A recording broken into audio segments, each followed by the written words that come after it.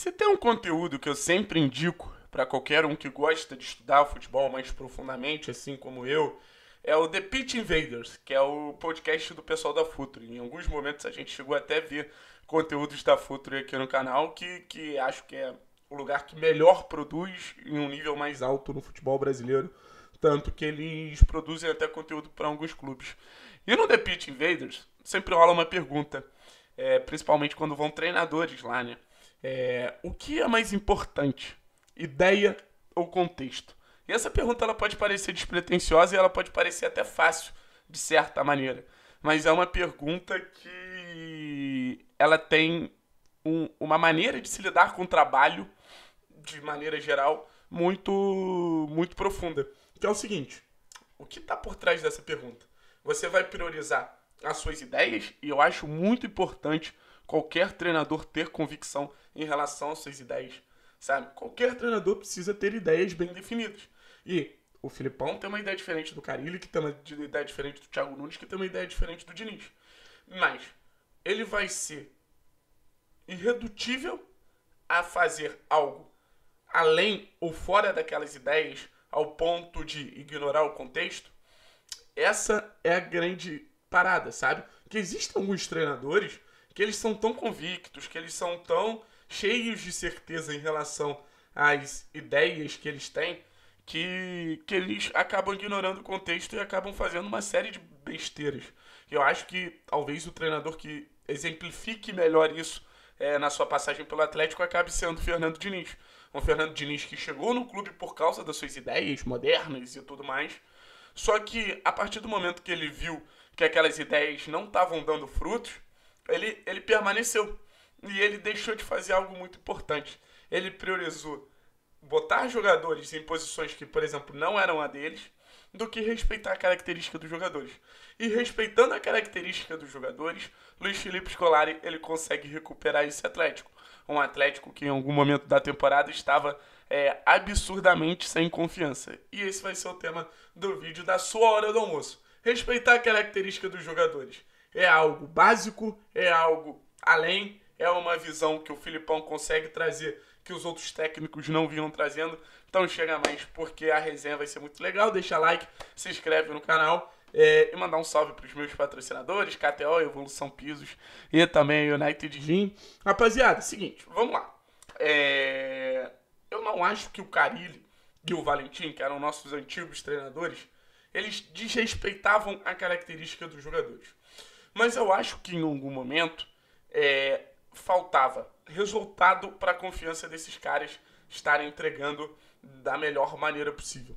Só que o Filipão, ele é um cara de um estilo de jogo tão simples, e ele foi sempre um cara tão simples ao longo da sua carreira.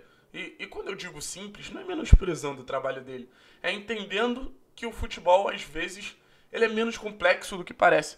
Porque, óbvio, quando você vê um trabalho de Klopp, quando você vê um trabalho de Guardiola, é natural que você perceba uma grande complexidade ali, né? E realmente é, são trabalhos que, que têm um grande nível de complexidade.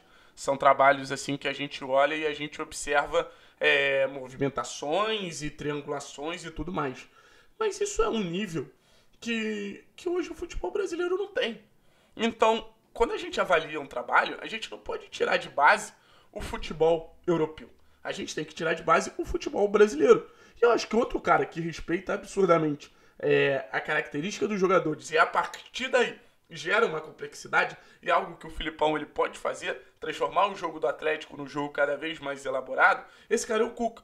O Cuca é ponta na ponta, volante na volância, meia na meia, atacante no ataque. Já foi um Cuca, quando ele era considerado azarão e tal, que ele tinha algumas movimentações de trazer lateral pro meio e tudo mais, e eu nem vejo isso como um problema.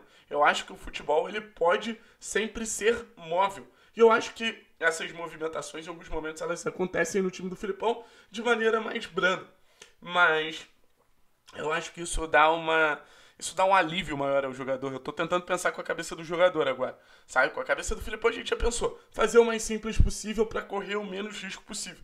Eu acho que essa é a filosofia de trabalho do Filipão. Essa é a base, a cultura de trabalho de Luiz Felipe Scolari, sabe? Mas aí a gente olha assim e pensa, como isso reflete nos jogadores? Eu acho que, que quando você dá uma missão, sei lá, pra um Christian, Christian, você vai jogar aberto. Citadino, você vai jogar aberto. Isso já gera uma auto-insegurança nesse cara, que ele pensa o seguinte, puta, eu vou jogar fora de posição, se eu errar duas bolas aqui, o estádio todo já vai vir no meu ouvido.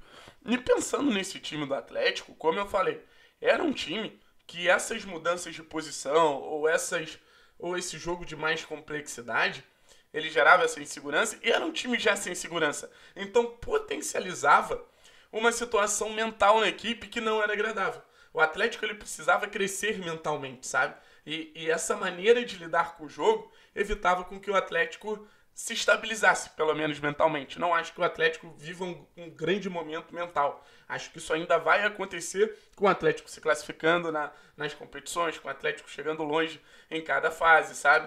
Mas eu vejo eu vejo um Atlético assim com, com uma força muito grande, com uma força muito grande. Vamos, vamos falar do elenco como um todo assim, sabe? Na zaga, eu acho maneiríssimo o seguinte, você tem um cara rebatedor e você tem um cara mais técnico sabe? Você tem um Nico e você tem um Pedro Henrique, você tem um Nico e você tem um Matheus.